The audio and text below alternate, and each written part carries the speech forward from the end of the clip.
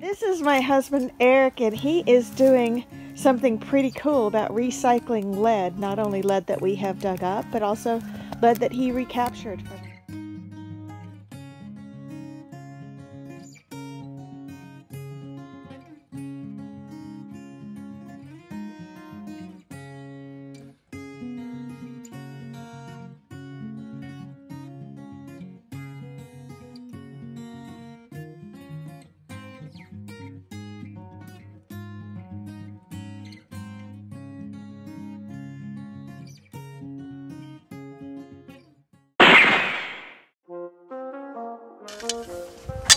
Looks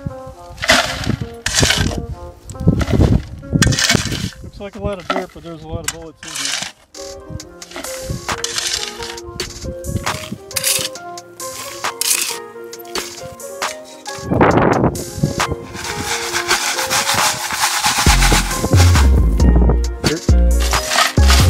There's a lot of bullets in here too.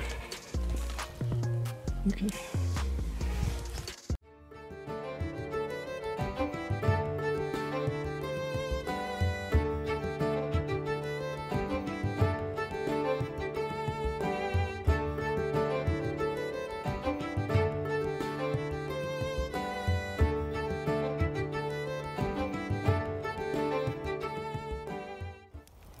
So this is the outdoor setup my husband has for melting down the lead. He's going to be pouring it into those um, muffin tins. So it's kind of cool. Anyway, this is about the, third batch I put in here so I get enough lead to actually pour. It's probably a little difficult to hear me because I have this respirator on, which you need to wear for these lead fumes. So anyway, all this on top is all the casings and dirt and some rocks. Actually floats on top of the lead. It's kind of kind of a cool process, but you shake it out. This old spoon is slotted so the molten lead falls through. So that stuff's all the crap on top. Mhm. Dirt and all the shell casings. Oh, look how pretty the metal is underneath that.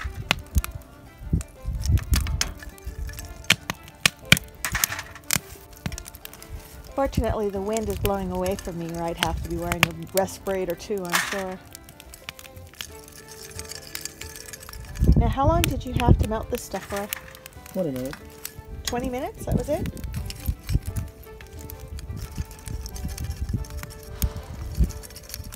The first batch I did was uh, with a propane cooker, which worked fine, but there's no sense to burn enough propane when you can just use a campfire. All right, well, we are going to do is go ahead and check back with you in a few minutes as soon as you're pouring it, all right? Hey guys, we're back. I just wanted to give you guys a little break while you finish just sifting out the junk. Do you want to show me the floating rock real quick? Uh, so so you don't think rocks float, but lead is more dense, so rocks float. That's actually really cool. You like- we're, we're getting down to this the little skim on the top. Uh-huh. Do you get all of that stuff out of there? Is it important? Yeah, yeah. As lead as you can get, so you try to skim all that crap off.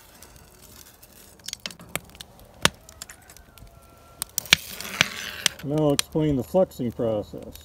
The what? It's called fluxing. Oh, fluxing. Okay. I know, I know what fluxing is. I just didn't understand what you were saying because you have that giant pink respirator on. Isn't it fashionable? It is. It's very cool. Okay, so now I'm going to put in a piece of wax, a can of wax, and it's going to probably ignite into flame. You might want to stand back. Whoa. Now this helps get all the impurities to the float to the top.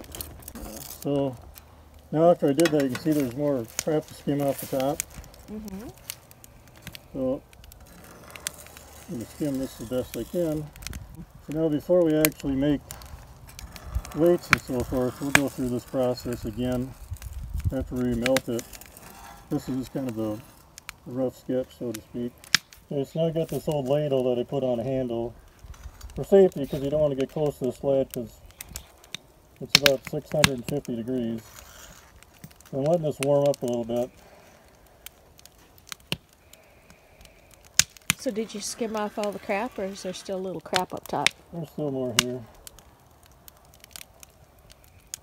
And did you say you're going to do the wax fluxing again or is that that was just a Yeah, one shot? Not now.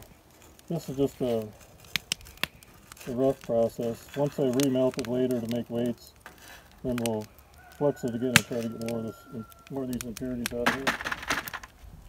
So now I'm just going to pour into these cupcake molds, which work, work pretty good. Now I'm assuming I can never use those cupcake molds again to make cupcakes, right? Well, only the guests who don't really care for it. Okay. Lead is toxic, so hence why I'm wearing the respirator. Kind of a redneck heater, but it doesn't cost anything to burn some old wood. Save the propane for more important things like grilling. So you can see there's more impurities on the top, but for this part it's not that critical. I think your setup here, you could actually cook if you wanted to on this, maybe with a different pot. A little bit tough to control the heat, but this is something I threw together last night to try to give the give this a test. This is just kind of a test to prove the functionality of this. Now, one full skillet of this molten lead makes how many cupcakes? Uh, about eight.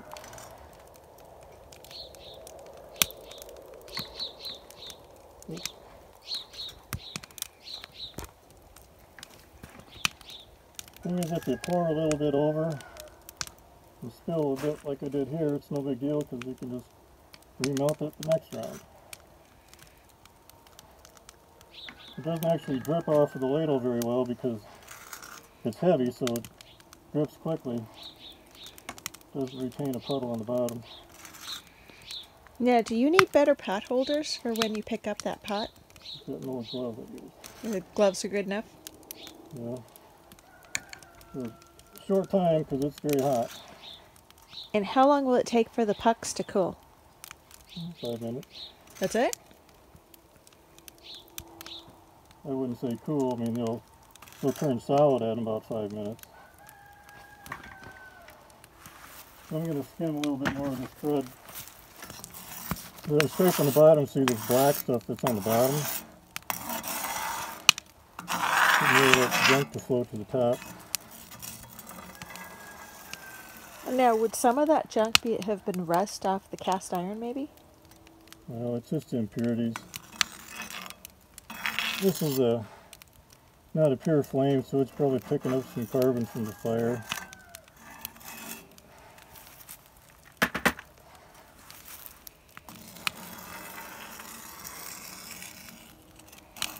Kind of a pretty uh, little once you get down to it. It's shiny.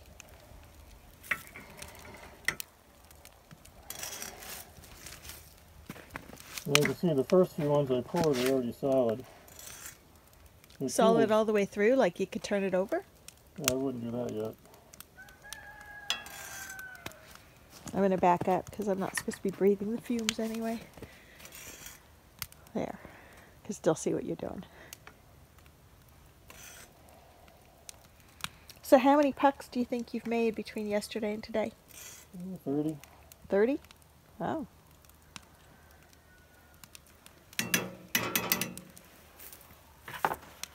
Now this part is a little tricky because the cast iron pots with lead in it, so it's very heavy.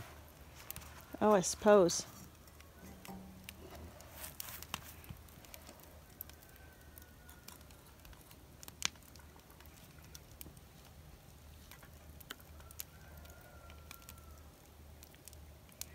Oh, almost looks like you're pouring silver. I wish it was. Yeah, it would be cool. You know, bit of crap left. As if I could afford one more, but I don't want to put that crud the finished product, so leave that there. The next bit I put in there, it's got a molten layer to uh, conduct the heat over there. So now you're going to put in more raw lead. Cool. All right, well that's pretty much what this looks like. Very cool. And uh, as I said, whenever we are detecting, we pick up lead too, and this is what we do with it. So it's kind of cool. Digging out. Hey guys, check this out. Eric has improved his game. He's got himself a wind deflector so he can uh, do this when it's windy out. And I'm going to try to stay out of the smoke because that's like totally lethal. And he's making cupcakes. There they are. I'm sorry, dear. What'd you say? Doing some wax so this may ignite. Oh, awesome. Don't burn the dog. There's the dog. He's a good dog. Right. He's hanging out. You're probably poisoning him with lead smoke. Whoa. This looks dicey.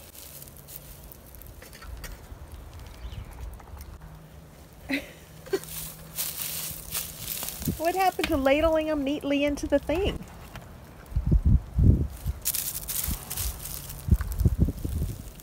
Too slow. what? Too slow. I see. All right, well, we're gonna tune out. Say goodbye. Yeah.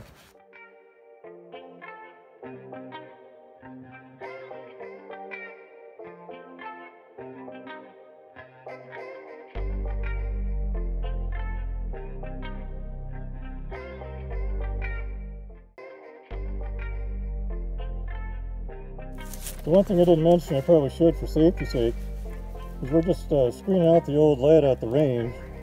So we got to make sure there's no live rounds in there. And if there was, you put it in the hot lead, it's going to explode and shower you with molten lead. So Awesome. I always kind of look with the visually. I put a little bit in this other bucket, make sure there's no live rounds in there. Did you guys, put 'em in. um, did you find any live rounds? There's a 22, yeah. Oh, jeez. Okay. Well, good to know. Yeah, this is the bucket of lead that uh, they reclaimed from the range the other day. So that's the other source that we get lead from. Some of it's stuff we pick out of the metal detecting stuff, and some of it's stuff he picks up directly.